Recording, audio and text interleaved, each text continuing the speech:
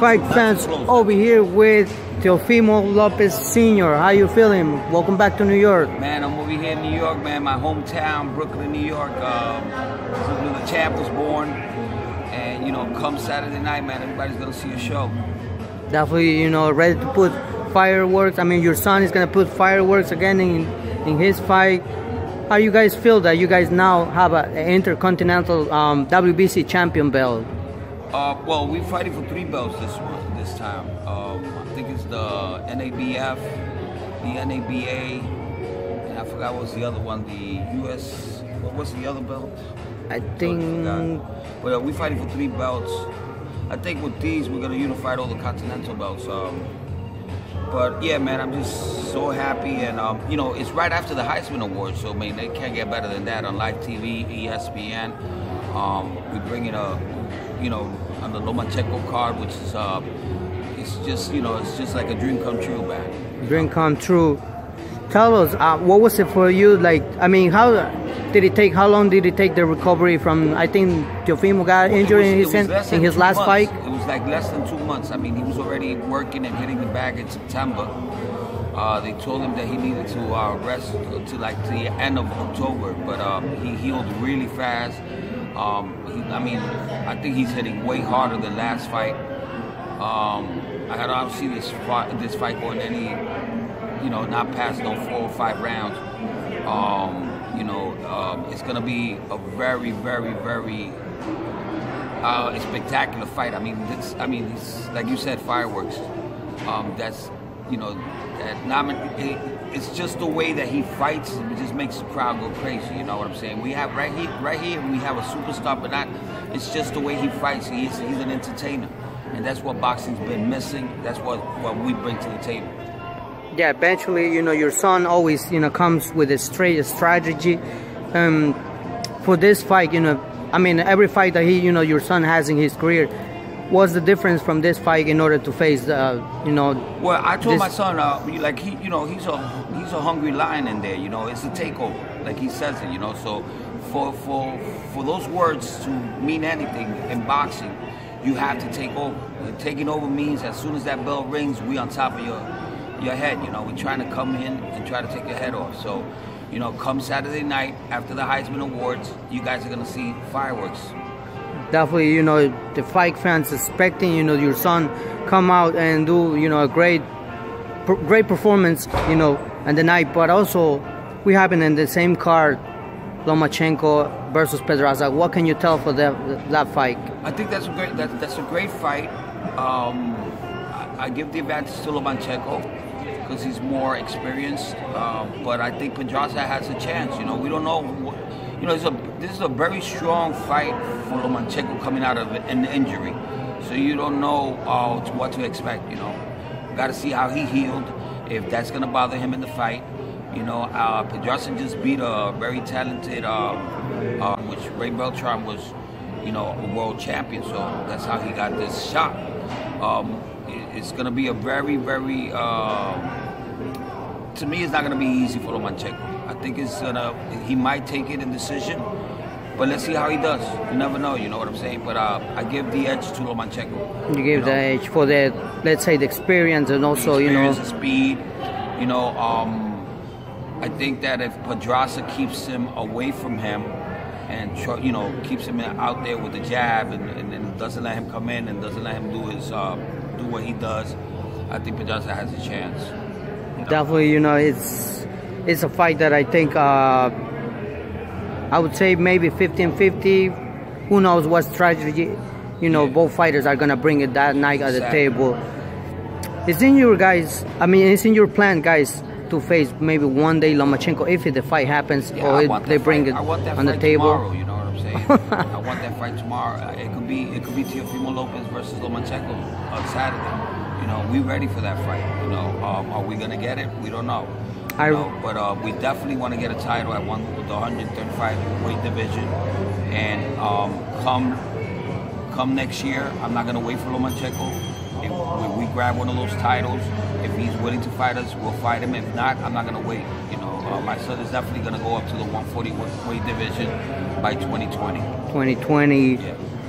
For you guys, I mean, eventually you are in the corner. You you know you supervise every move, everything that your son does, and for you guys, what's the most prestigious belt that you guys can get it in order that you know a lot of people that you guys call the attention for all the fighters. I think the WBC. I think that's the one that Mikey Garcia just uh, vacated. Vacated, right? I think it was that one, right? I- I'm not too sure. But um, whatever, you know, whatever belt is out there that's vacant, we're going for it. You know what I'm saying? And uh, once we have that belt, you know, they, then they, Lomachenko is gonna have to fight us or Pedraza, whoever wins. You know, so uh, we're just waiting for that chance, and I think it's gonna be really quick. Really quick. Be by next, next next year, mid July. I don't know. Let's see what happens. You know hopefully that fight happens because uh, this, this should be I, I think it should be interesting to see Lomachenko versus against your son because two different styles and I think your son you know like you mentioned he's a lion he's hungry you know he wants the belts and hey why not Listen, um, I think I think that um, no matter who he fights, he's always going to be a pay-per-view star. You know, just because of the way he fights. You know, um, I think Top Rank right now needs a pay-per-view star. You know, and and we we're gonna take we're gonna take that position. Um, anybody that we fight, my son is gonna look spectacular. So it doesn't really matter who we fight. Um, we we ready for the big names, and um, come come next year, you know, uh, he already was nominated again, Yahoo Sport of, uh, of the Year and uh, Prospect of the Year, and um, hopefully, maybe even ESPN. We're gonna find out that real soon. But uh, the more the more awards we get, the more closer we are for a world title. You know, you know, I think he's already a contender. But I, I tell my son, listen, any award is good because it just puts your name out there, you know, and uh, it makes people want to see you.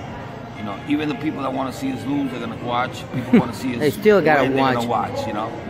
So come Saturday night, you're gonna see something that nobody's seen in a very long time. We're Some- bringing boxing back. We're something bringing back like- the the eras of the Sugar Ray Leonards, the Muhammad Ali's. We're bringing that era back. You know, people need to see a lion, somebody hungry, somebody going in there trying to get it right away, not try to figure out people. You know, my son adapts to any style of boxing, and he adapts within 20, 30 seconds of the first round. Wow, so, that's- you know, and, and, and if you notice, you know, after the first, second round, he doesn't get touched, you know, and um, and I taught him in the game of boxing, you got to entertain, and and what's, what was most important about me teaching him how to box was not to get hit. Because no father wants to see his hit, uh, his son get hit or get hurt, you know. So that was one one of the most motivating parts of me, and Floyd Mayweather really helped me with that, you know. I took a lot of his uh, style and converted it into uh, into my son. But a lot of other fighters, I needed I needed to implement more things into him with the aggressiveness, you know. Yeah. So I'm build I'm, I'm building a style where nobody's ever seen, you know. I even have some some Bruce Lee in there, you know what I'm saying? like some Bruce Lee moves that he makes, and um, and I just put all these things together, and God God gave me that gift to be able to teach my son, to protect him, and to bring a style that nobody's ever seen in boxing. You know, that's why everybody, you know, if you notice, every time my son fights, you don't see nobody on the phones, you don't see nobody texting nobody, everybody just 100% looking at his Keeping fight. an eye on that fight, yeah. The eye on the fight, and that's why he always, he's always the best fighter at the end of the night, you know, because he brings that excitement. definitely you know he's your son you know steals the show and you know that's what i think people love uh, when it comes like in boxing and everything um could you guys talk about like when let's say an uh, injury happens you know whether it is the, in the sparring or just the injury that happened in, in his hand recently what, what was going on in your Yeah, mind one you thing know? about my son that even if he gets he does get injured, Mm-hmm. he would not let nobody know. Mm. All right, um, I was the only one that knew that he did something to his hand because he wasn't throwing it. He wasn't throwing the right hand a lot. And I asked him in the second round. I said, "What what's going on? What's going on? Well, you're not throwing the right hand. Is something wrong with your hand? What happened?" He, he told me, "Your dad. I think I broke my hand." And and then I told him, "I don't care." I said, "Listen, we're already into the fight. You're gonna have to push through it. You know, that means we're gonna have to take this guy out faster. So he went in there, he did his job, and then after the fight, that's when we realized that it was a really bad injury. You know? Yeah. And I don't know how he did it, but I mean, he, he, he, one thing about my son, even when he got cut the first time, he doesn't like to show people anything. Even though the, he couldn't, what he couldn't see Hmm. through that eye, he wouldn't let the fighter know or anybody know that was bothering him. He Like didn't a- even touch it. Like a You true know I'm warrior. I remember when he got that bad cut, um, and he he didn't even touch it, and, and, and, and that's how he is. He will not show you any weakness. You know, he doesn't want the fighter to know he's there's something wrong with him, and he doesn't want the crowd to know that he's he's hurt. You know, we're not gonna give nobody the satisfaction of of, of, of, of the doubt of thinking that he's not a good fighter. We always gotta show everybody the best of Teofimo Lopez. I mean, this fight is gonna show that. It's gonna prove that that we're we're on a roll. You know, and uh, we're on the express the express lane. You know, with just ten fights, he's been nominated all over the place. You know, Yeah, I seen that. nominations everywhere, and um, I can't wait, man. ES, ESPN loves him. The world loves him. You know, he's he's he, he's got some haters, you know, but eighty percent of the people that watch boxing, you know, hardly know anything about boxing. So I already know what I got, you know, and uh, we're just gonna bring something that nobody's ever seen. Nobody, you know. Definitely, you know, all the fight fans, they're gonna keep an eye on you. We like to bring a message for all the fight fans and everybody that is gonna keep an eye on your son because, hey, you just you mentioned it, you're making the lane and going straight. No, I want everybody to stay tuned. Uh, just watch right after the Heisman Awards. My son is gonna bring a show, man, and and and we're just gonna get closer to a world title after this fight. You know, keep an eye for the takeover. It's coming. Thank you, Teofimo Senior. Wishing you the best, and you know, I wish for both fighters come out, you know, safety. That's Yeah, one thing. exactly. Because it's an entertaining sport, but also let's not forget that you know it's life inside the ring. So Everything's about entertainment. You know, we never want to. Uh, it's, it's, it's it's a fight game. You know what I'm saying? Right after the fight, we, we we could be friends and everything. You know, we show respect to the fighters, even though my my son does his thing because he has to celebrate his win. You know, we don't do it out of. Out of laughing at the at the fighter. We Yeah. do it out of celebrating. our Celebrating, yeah. because it makes us one one step closer to a world title. Um, and we bring that entertainment because you gotta entertain you gotta entertain the crowd, you know. And we do give our respects to the fighters every time we fight. You know, you see my son go into the corner, kissing the fighter, hugging him. You know, so we show respect. Now, come Saturday night, man, it's gonna be explosive. thank you, Teofimo Senior. Wishing everybody the best. Guys, stay tuned. Teofimo Lopez in New York City. The takeover, baby.